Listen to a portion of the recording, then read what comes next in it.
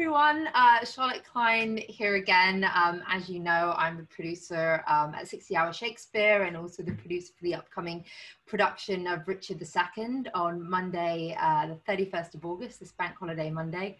Um, as you've seen from our social media accounts, um, as part of this year's production, we are speaking to various people within the industry. We're raising money this time for Acting for Others, um, a wonderful charity that supports theatre workers through 14 member charities.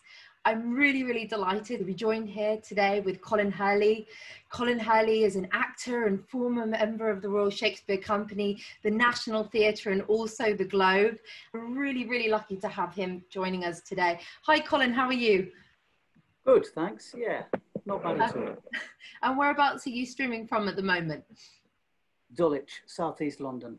Dulwich, okay, so very local. Um, and obviously, I've given you a bit of an intro, but I'd love to hear a little bit more about yourself and particularly how you came into acting into Shakespeare. Uh, it started a long, long, long, long, long time, 40 odd years ago. I, I was persuaded uh, by some mates. I was quite geeky at school, very quiet, not sporty. Um, my equally geeky mates said, um, Oi, oi, we're doing a play with the girls' school. It was a boys' school, so I hadn't actually spoken to a member of the opposite sex for about five years. Um, and suddenly there was a chance to mingle with these, these exotic creatures that I'd heard so much about. We were doing a, a school play together with the girls' school up the road. Uh, but even then, I needed a lot of persuading. Uh, so we did that. We did, um, we did As You Like It. And I, I was only playing a tiny part, but just really enjoyed the attention, if I'm honest. And, and through that got hooked. Yeah, yeah, I did it again, then again. There was a fantastic um, teacher up there called Paul Ward, who just, he was like a gardener. He, you know, everyone just flowered under this guy. So much love and attention and encouragement. And so uh, I stayed in touch with him, even though he wasn't my teacher. And, and he helped me a lot over the next couple of years. And I think that's it's so funny just speaking to everyone. I mean, it seems like behind every great actor, there's always a wonderful mentor or theatre teacher, like you say, behind them that sort of brought them into to the world and kind of took them under their their wings. Um, you've obviously gravitated towards Shakespeare kind of throughout your professional career. I mean, what kind of keeps you coming back for more Shakespeare? It's what I get offered. It's it's. I did some Shakespeare very early on, and then people won't go, oh, that's what he does. I mean, for a while, but in the old days when there used to be like a repertory system and there were theatres all over the country, I'd be typecast as different things in different towns. You know, so I'd, I'd go to Salisbury to do some comedy and, and Leatherhead to do something else. And um, the Shakespeare just kept cropping up a lot. I'm not, I'm not, I've never thought of myself as, uh, I'm certainly not a scholar and I'm not that knowledgeable about it, but I've done so many of his plays now that um, I just feel like um, that, that's what I do. I also got in, very involved when I was at the Globe, and I've been working at the Globe on and off since, um, since 2001. I, I, got very involved in the education side of things there, running workshops, right down from kind of primary school right up to university students, and then carried on working with, um, with teachers. It's, they've got a fantastic department there. You know, um, they'd, they'd have all, all these schemes where a group of teachers would come over from New Zealand or come over from America and spend two or three weeks with us, and we just give them everything we got, basically. Uh, the, the, the, emphasis being on practical approaches. Yep. Uh, there's something about sitting there reading a Shakespeare play that is very soporific. So we and and it's not what he what he meant them to be. You know, he didn't mean them to be sat there um, in a classroom. So it was, it was, a joy to be able to just share some um, exercises I guess rooted in in how we might rehearse a play, if you're lucky, mm. uh, and and then just getting the bodies in the space and seeing how much how much easier it is to understand a Shakespeare play if you're actually hearing. The words were designed to go in the ears rather mm. than the eyes, is what I often say. I mean, as I'm sure you know. Yeah, absolutely. And I think, you know, there, there are obviously a lot of readings of Shakespeare. And one of the things we ask our cast is to kind of be off book and just sort of stand up in the performances and kind of be like a space. Because as you said, it's meant to be acted, it can't be static. And Um, I hope all of the, the cast are watching this now to, to, to hear it firsthand from an actor. And obviously, I mean, I'm just dying to hear, because obviously, as you said, you've worked at the Royal Shakespeare Company, National Theatre, and the Shakespeare's Globe. How does it vary, you know, their approaches to Shakespeare? You mentioned that obviously the Globe has a very practical approach and also incorporates these wonderful education programs. You know, is there a style or any anything that sort of varies one by one and, and brings you back? Uh, it, it's quite hard for me to separate out um, different styles of different places from my own development. Really, uh, when I when I did plays at the, at the National, the RSC, I was young. I was a bit chippy. I was playing kind of smallish parts at the National, then small to medium at the Royal Shakespeare Company, and um, it wasn't until I came to the Globe and met uh, a couple of very particular right people a bit like with the drama teacher, uh, Paul Ward, and a couple of my English teachers. Suddenly there was the right person there right in front of me to, to help me um, move up to the next level, to develop again. I'd got a bit stuck. I think when, when I arrived, um, as a man called Tim Carroll was the first person that I worked with at the Globe.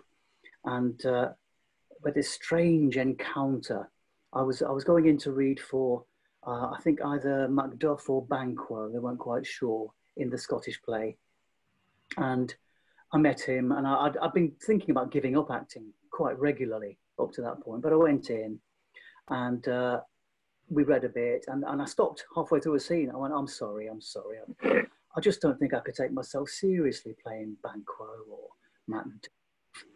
And and this total stranger at the time, Tim, just kind of looked at me, quite cross, some stupid actor, and said, "So so so, what could you take yourself seriously playing then?"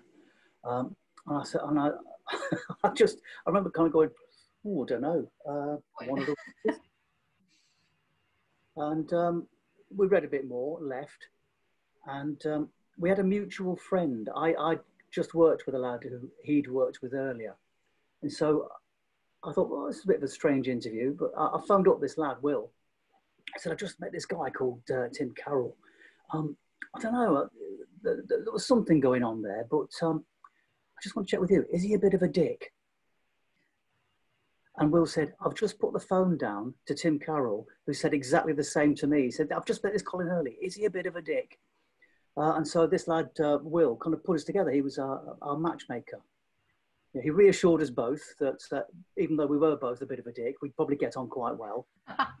and uh, that was sort of the beginning of a love affair. Even then, though, I was I was quite unhappy. The, the job of acting does make you unhappy sometimes, um, or you make yourself unhappy anyway. Um, and so I'd given, I'd made a deal with myself. I thought, okay, well, I'll, I'll go there. I, I was, I was third witch or something. Um, but if I'm, if I'm as unhappy as I think I might be at the end of the first week, I'll just have to hand back my wage packet. And I'll have to say, I'm really sorry. It's a terrible mistake. I shouldn't be an actor anymore.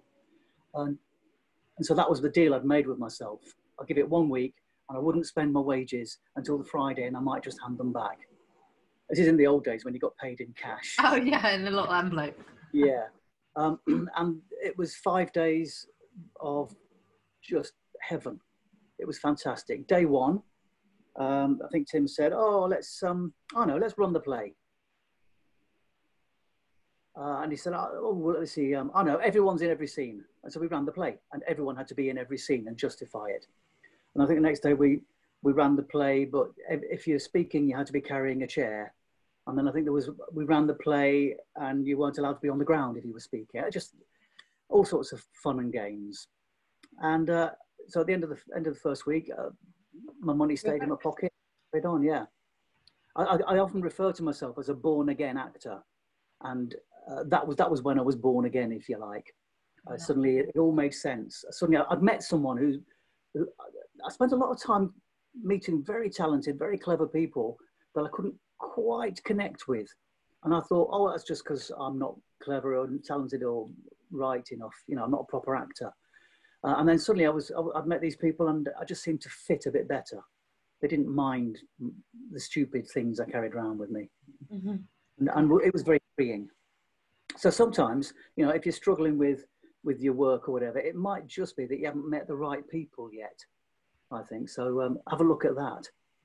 Yeah, absolutely. And the right company. And, and yeah, just, I mean, it's like having a football team, right? You've got to all cooperate and you've got to have that same energy that you bring.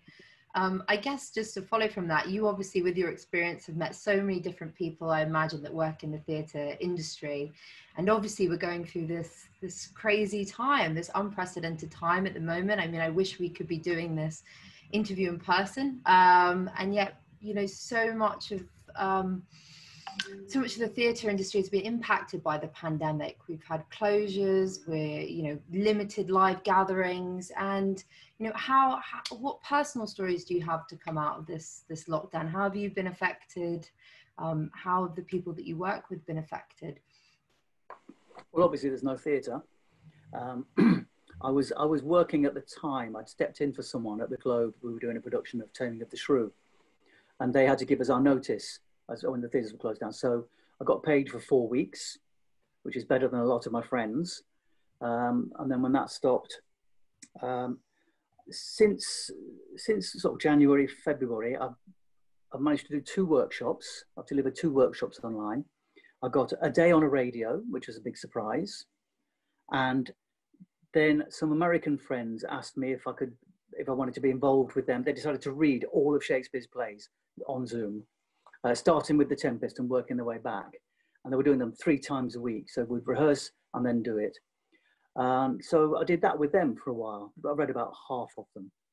And that, that earned me, I think, $180 for about two months' work. I edited some of the plays as well. So I kept busy, but I wasn't really earning any money. And then recently, another friend got in touch and said, We're doing this strange um, um, virtual um, promenade performance, a sort of response to Twelfth Night. So, so these friends, um, the, the, Shakespeare Ensemble, they call themselves, uh, got nine actors, a bit like yourself, you know, all over the country. You know, we've got someone in India, someone in Canada, someone in, in, in France, someone in Wales, me in England.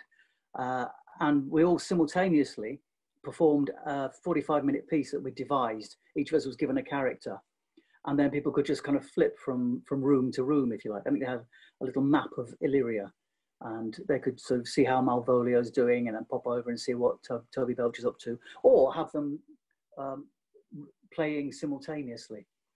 So and that was a, that was a, a, fun project to do, and really got the juices going.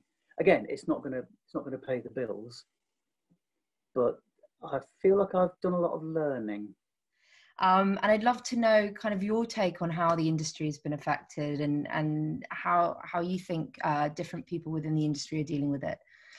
Yeah, it's, um, I think from the outside, it seems very simple. Oh, just put on some new plays or, or some cheap plays. You know, why don't you just, um, you know, do something? And uh, I mean, the, the theatre that I'm closest to is the Globe, Shakespeare's Globe. And uh, I realise that it's it's not that simple. It's, it's it's really difficult to to negotiate all the the rules and regulations and what's legal and what's not legal, and what's financially viable.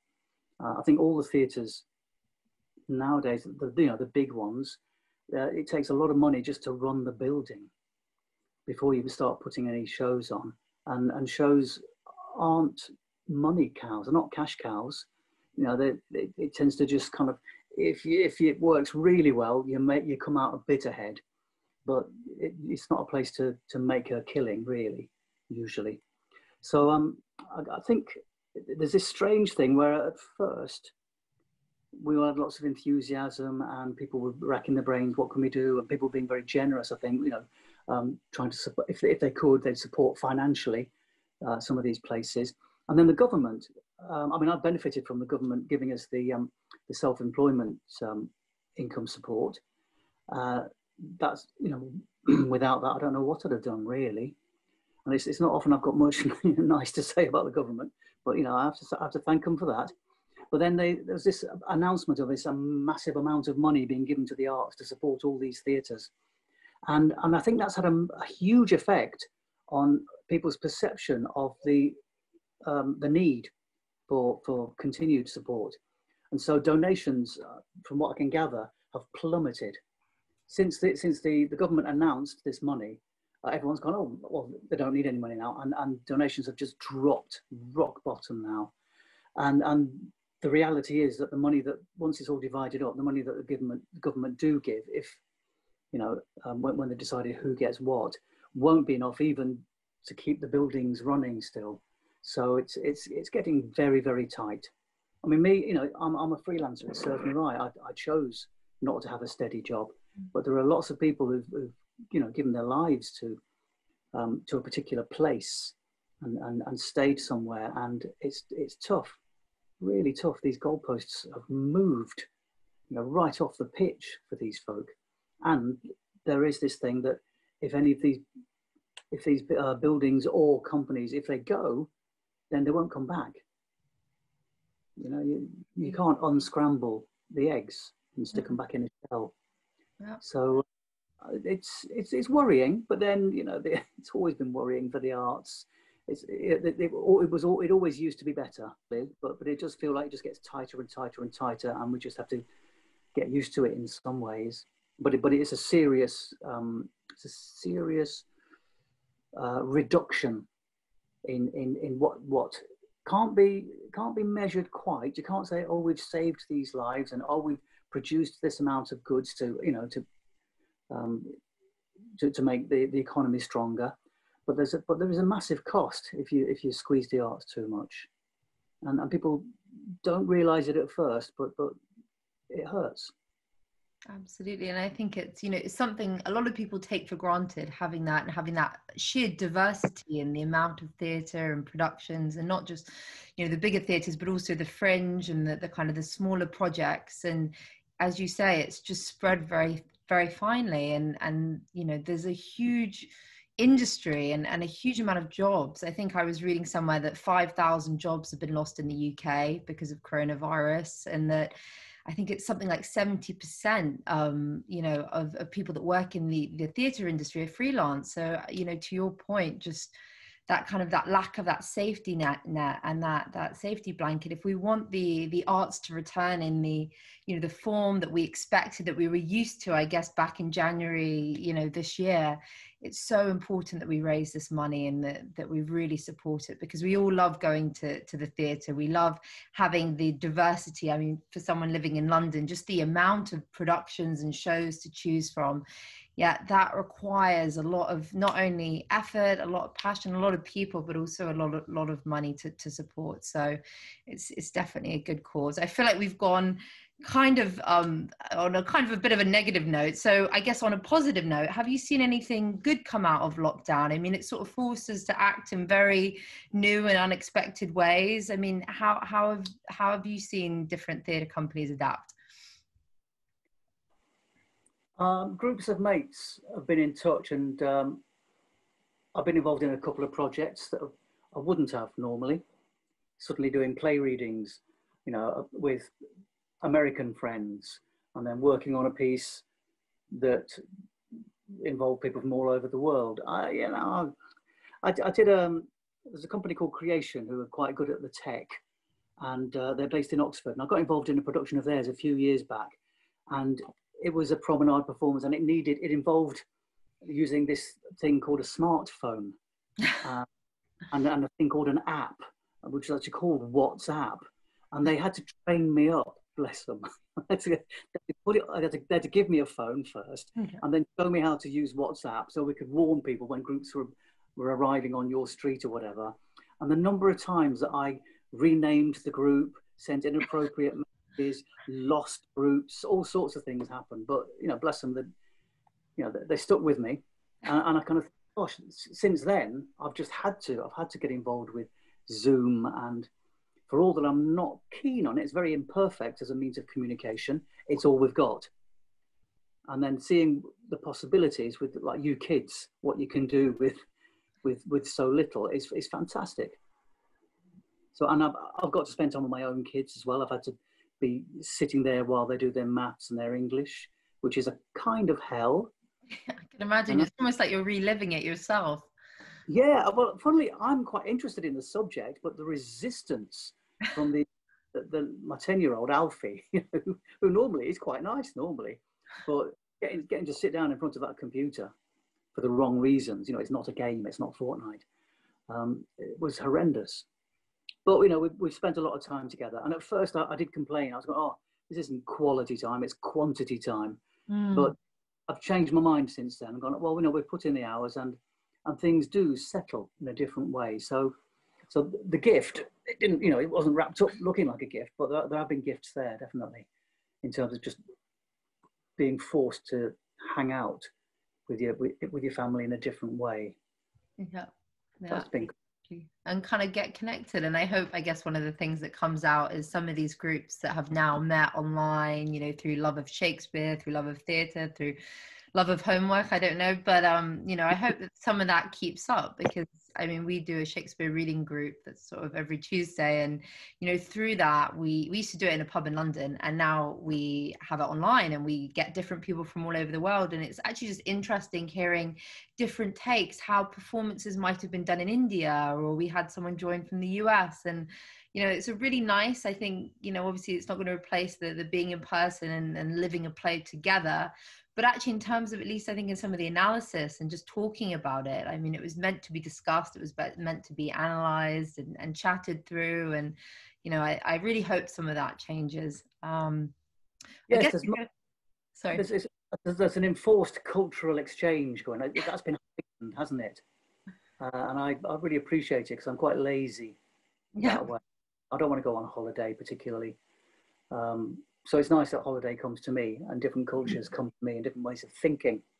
Yeah. I need a just different backgrounds. I mean, you can go anywhere now. um, and I guess to, to bring it back to Shakespeare, obviously with your amazing experience, I mean, we're doing Richard II. I mean, what's your take on the play? Have you got any, have you been in the performance before or? I've never been allowed, never been allowed in Richard II. Too oh, dangerous. We should have known you would be available for our production. yeah, yeah, homework and stuff. Uh, it, it's fantastic, isn't it? There's, it's just a wonderful story. This, this, um, how something can come from nothing. You know, all that trouble comes from a bit of ineffectual leadership. With a, you know, there's a feud going on. Uh, I mean, I'm talking about the story of the play rather than history. Mm-hmm. Um, and just because he makes a mess of that, he sows all the seeds for all these problems later, and gets a bit greedy, and then a bit careless, and a bit wafty, and then that's that amazing scene where he basically hands over the crown. Mm. he's so busy being the star of his own movie that, that he forgets there's a, there's a job he should have been doing. And again, happens a lot in Shakespeare plays that when someone hits rock bottom, they, they, what they get in reward for all that everything that's been ripped away from them is is a kind of wisdom and a kind of peace so that beautiful speech where he's on his own and just dividing his little cell up in, and making a kingdom of that is uh, it's, it's, just it's, it's, an extraordinary journey to be taken on mm. um, philosophically, if you like. Uh, it's, it's fascinating. Uh, it's funny, isn't it? This thing, the label that these plays are given, they're, they're called the history plays. And I don't know, I think I can limit our expectations a bit. So, Colin, you know, given your background, I mean, do you have any advice for us embarking on Richard II? Oh, I'm, I'm no advice, no, but I, I, just say you're doing the right thing by limiting the rehearsal time. Um, that's that's already tapping into the energy that would have been around in those days when it was a new play. They had very limited time, so you're thrown back on yourself. You you know you've got some words, and you'll try and remember them. So that's a fixed place, and then everything else is fluid, isn't Thank you so much. Um, really, I mean, it's just been wonderful speaking just now, and, and thanks all for all the experience and the, the insight that you've given us. Um, just a reminder for those of you who are watching, uh, Richard II will be available to stream uh, live via YouTube um, on Monday, the 31st of August at 7.30 British Summer Time.